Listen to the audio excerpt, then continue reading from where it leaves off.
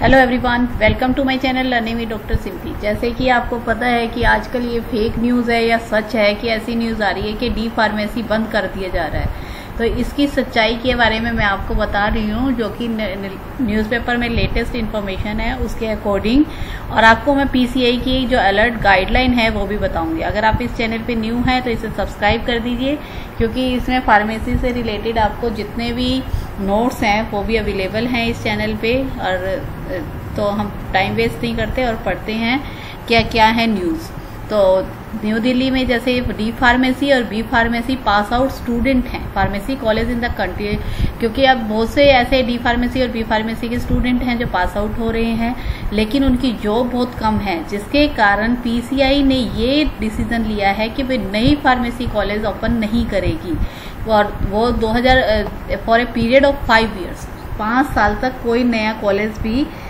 Pharmacy college open नहीं होगा। ये गाइडलाइन है, लेकिन लोग ये फेक न्यूज़ कर रहे हैं कि कहीं एडमिशन होंगे या नहीं होंगे, इस बार डी फार्मेसी करनी चाहिए या डी फार्मेसी पे बैन हो जाएगा, ऐसा कुछ भी नहीं है। ये सब इसलिए किया जा रहा है क्योंकि डी फार्मेसी और बी फार्मेसी में जितने स्टूडेंट निकल रहे हैं, उन सबको जॉब नहीं मिल पा रही है।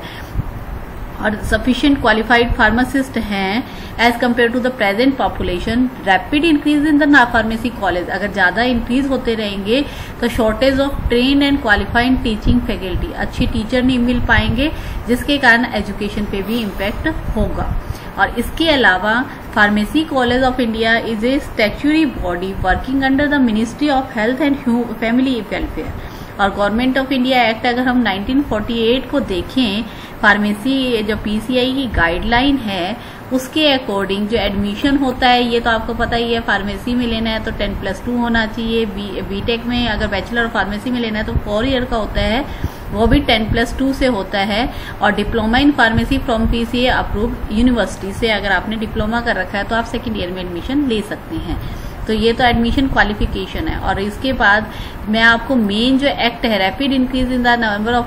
pharmacy college increase हो रहे हैं। जो पीसीए अलर्ट न्यूज़ है, वो भी मैं आपको बताती हूँ। Pharma council of India has come across from the fake message being circulated in various digital platform mentioning that from thirty August twenty twenty diploma pharmacy will not be accepted as a registrable qualification under the pharmacy act nineteen forty eight to practise the profession अब इसमें ऐसी fake news आ रही है कि 30 अगस्त 2020 के बाद D pharmacy को कोई भी रजिस्ट्रेशन नहीं माना जाएगा कि वो प्रोफेशन में काम कर पाए। All licence issued on the basis of diploma in pharmacy qualification will be automatically dismiss by pharmacy council of India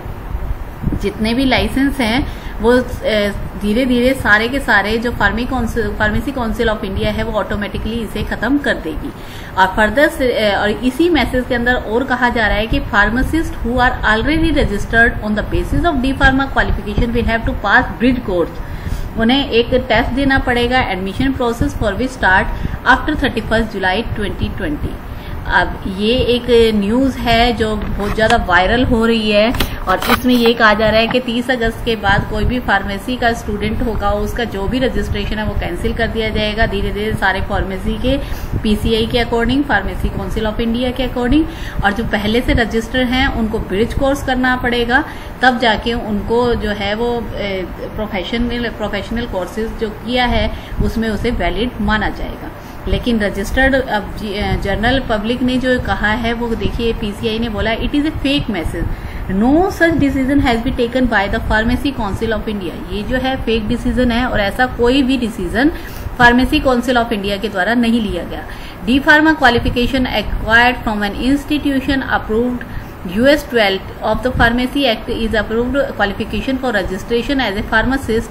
under जो ये रूल दे रखा है 33 read with the section 32 two two of the pharmacy act for the practice to perform और उन्होंने ये भी कहा है कि जो एक्ट 1948 है, उसके अकॉर्डिंग जो डी फार्मेसी है, वो फार्मेसिस्ट के लिए एक अप्रूव्ड कोर्स है। Pharmacy council of India post all important decision in the form of notification circular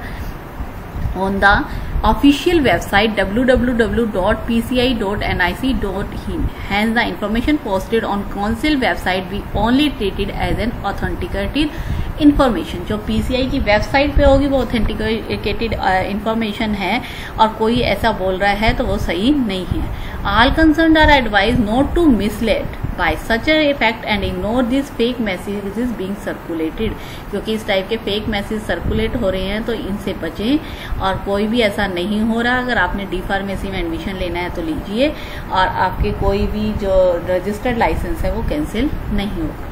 तो अगर आपको ये अच्छा लगा हो तो इसे लाइक कीजिए और मेरे चैनल को सब्सक्राइब कीजिए एंड थैंक्स फॉर वॉचिंग